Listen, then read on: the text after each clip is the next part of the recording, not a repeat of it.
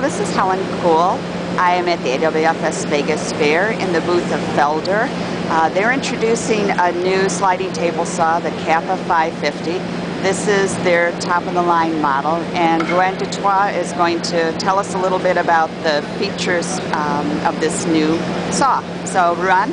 Well, basically, uh, the machine has become a lot more sophisticated. Um, so you have a look, uh, all the controls of the machine is all electronic uh, with regards to the tilt of the blade, uh, the rise and fall. Also, the rip capacity on the machine is all electronically controlled.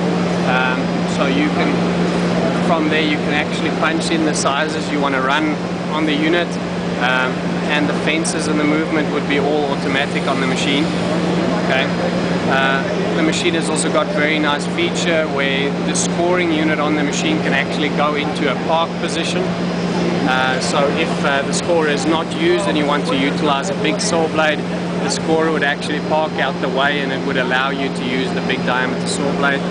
There's some very simple and practical features of the machine. If you have a look here underneath, uh, we have a, a unit, for example, to store your saw blades inside instead of having them all over the workshop, you could actually put them inside the machine um, and they're out the way.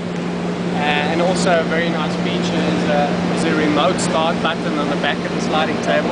So instead of having to walk to the front of the machine, you could actually start the machine and its blades from the back um, and also the scoring blade start from the back of the machine. It's actually running now, it's very quiet. Oh, that is quiet. Yeah.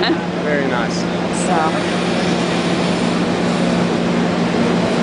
Well, uh, on the software side, uh, the biggest thing about the machine is that you also have an optimizing option.